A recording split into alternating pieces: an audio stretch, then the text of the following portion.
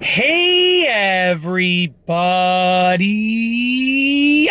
Here today to talk to you about a wireless keyboard that is not working, but the mouse, along with that wireless keyboard, is working. So I'll be going over some common problems and easy fixes so that hopefully you can get your wireless keyboard working once again. So once again, just to clarify, if your wireless keyboard is not working, but the mouse that is connected to that keyboard is working, this is the video for you because I'll be going over the common problems and easy fixes. So let's get right into the video.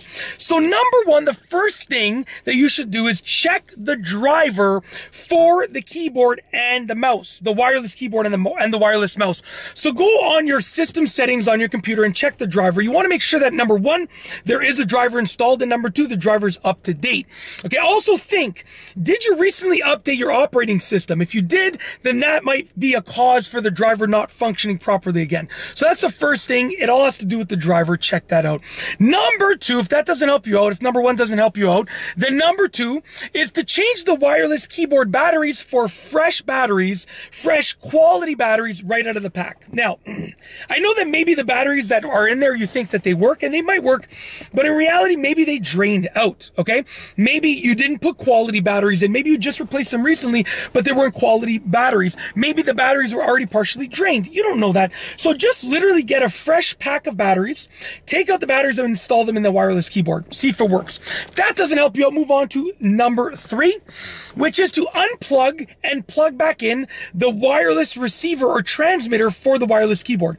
So your wireless mouse and your wireless keyboard generally are going to have one wireless receiver that is, is associated with both of those things if they're connected and just unplug it from the computer and plug it back in. And also, sorry about that, you can try it on a different port. So in addition to unplugging it and plugging it back in, you can try it on a different USB port and see if that helps you out, okay? Give it a try, see if that helps you out. That was number three.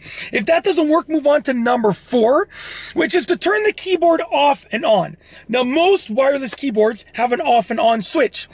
This is maybe where your problem lies. Maybe your wireless keyboard is already off. So turn it off and on, um, and sometimes that'll give it a soft reset. You can also turn it off for like 30 seconds to a minute and then turn it back on and see if that helps you out.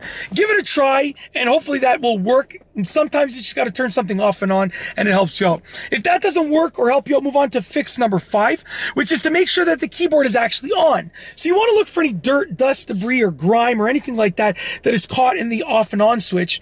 And when you turn it on, make sure you get a clicky feeling of it turning on. Make sure you visually see it turned, being turned on, being powered on. Make sure you can hear it clicking on uh, with regards to the switch or the lever.